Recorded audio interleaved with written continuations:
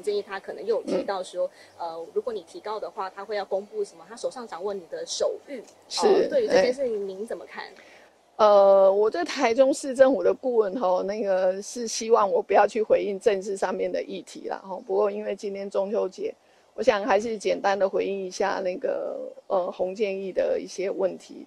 那我看了一下吼，那张陈情。书，第一个我也看不出来那个是不是真的是要给我的。那今天中秋节讲个冷笑话，他的署名叫朱将军雅虎，那这个将军能够对应的蔡杰，搞不好他是要写给蔡英文总统的呢，对不对？哈，其实这是中秋节的冷笑话啦。哈，那第二个就是说他他去发个这个什么不自杀声明，那我也觉得他。演演过头了，然后，但是我我想我可以发表，就是我我有我呃不在场证明这样子，嘿，因为这个时间点，他他那封信里头讲到四大运嘛，吼，应该是二零一七，那但是因为金华城的事件是二零二零年三月以后的事情，那我不晓得，因为我二零一九年我就离开台北市政府，然后就去阻挡，然后就后来就到了立法院。所以我觉得这个时空背景上面，我不晓得他要怎么去做一些关联性，哦，所以我想他发不自杀声明，我我也只能发我有不在场证明了。嘿，有提到说您有打算要提告，是确定要提告，那时间有确认吗？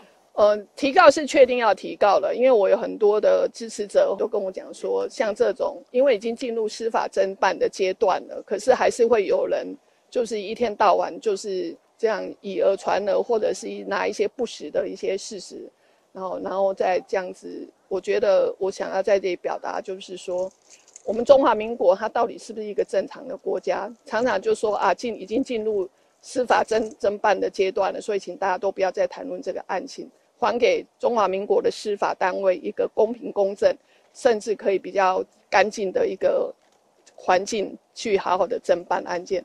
但是在柯主席的这个案子上面，我要谴责很多的执政党的这些民意代表们，甚至他们的侧翼配合上他们的特定媒体，党政媒这样子，一天一文者，每天都可以编撰一些小故事，那把这个故事呢，在他们特定的政论节目里头大放送，这个简直就是写连续剧。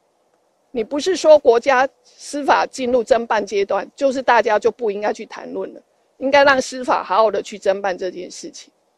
但是现在不是，碰到柯主席的案子，现在有吗？每天还是争论节目讲个不停，哦，所以我也要在这里，我想要谴责一下执政党的，应该要好好的约束一下自己的这些民意代表、特定的媒体，哦，那。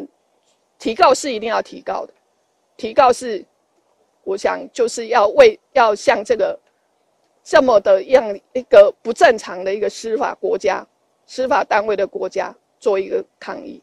那提告律师提告函已经写好了，那本来是礼拜一要送，因为今天礼拜二中秋节嘛。那但是因为他就说他会拿出什么样的证据来。所以律师写好就说，那等他昨天拿出证据来，我们再把它加进去。哦，那这个看起来这个这封陈情信确实没有办法证明，第一没有办法证明他是给蔡壁如的。好，那这个我昨天已经回应过了。那后来我就发现，为什么他会有这封陈情信？假设啦，吼，假设他真的是来跟我陈情的。本来台北市长的主任每天。在市长室每天就会接收到很多的陈情，那这封陈情书、陈情信不是应该要在台北市政府存档吗？为什么他手上会有呢？是不是？再来，他的右上角他还写个戳章，难不成朱将军雅虎是跟他松西松山区的议员洪建义陈情吗？这个我不多不我不多做揣测了哈，因为金华城在松山区。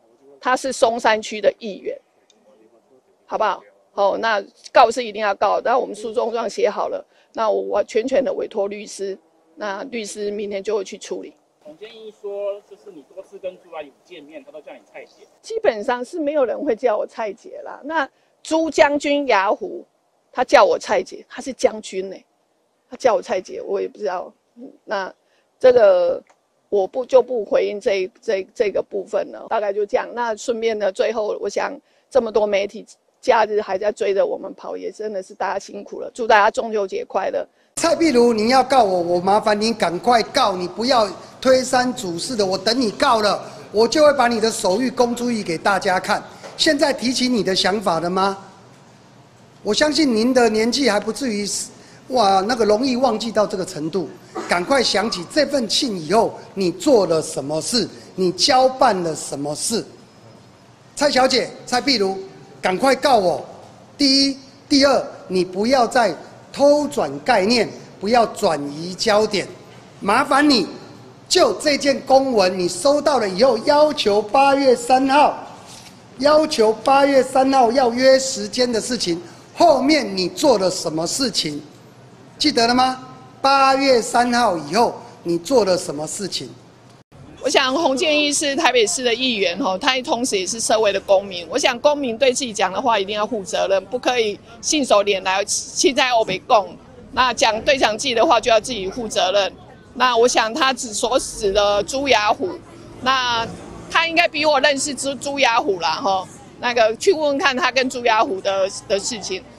朱亚虎呢是郝龙斌市长时期的兵役局的局长。那我相信他对整个台北市政府呢一定比我熟悉。那我跟柯市长到台北市政府的时候呢，他自动跑过来跟我介绍说他是以前的兵役局局长，他对台北市非常的熟悉。他同时是呃市政府跟市议会的联络人，总联络人。那他替郝市长解决大大小小的一些问题，所以他只是在告诉我说，如果我有什么不懂的或者有什么疑问，可以去问他。那至于朱亚虎什么到底是不是有去金华城，我觉得这个我不清楚。难不成他才刚从郝龙斌市长下局长下来，他就去当财团的门神吗？那你们应该应该去问朱亚虎啊。好，这个我就不清楚了。那我印象中，朱亚虎没有跟我谈过金华城的事情。那我在台北市政府是科市长的第一任，第一任的时间，我想我们大半的时间都在解决大巨蛋。那对金华城当时是呃有陈情，那有监察有监察院有来函，监察院有公文然后那那个。我因为是市长室的主任，所以我排每天的晨会。那在这个晨会当中，有当时有请相关的局处来报告金华城的事情。那市长的指示的很清楚，就是权责单位依权责单位专尊重专业，请他们去处理。所以我在柯市长的第一任在市长室的时候，我有听过这个案子，但是因为。督发不是我的专业，我也是尊重专业。啊，那对洪洪建义的言行，你有打算要提告吗？我会去告他。哦，我早上对媒体说，他是一个公民，他也是一个事业，我不允许现在在争论节目上面都胡说八道。最近的科主席的一个事情。这些新闻，他们为什么都比剪掉还要清楚？还有了，还有媒体什么？他也那一条线养了七年，他每天他们每天像个连续剧一样编一套剧本。所以呢，我告诉你，对这些不实的这些假指控呢，我一定告到底。议员说那个他有你写的手稿给局处首长，那就请他秀出来吧。如果没有。